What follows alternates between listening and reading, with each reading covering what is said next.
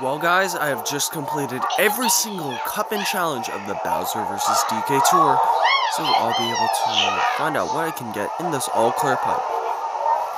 Once again, I'm Elliot Royce, and I'll be able to find out what I can get in this all-clear pipe. Sorry if I said that twice, but anyways, let's just find out to see what's in that pipe. Alright, uh, there's nothing. Ooh, the Headhunter. That's a new card. Nice.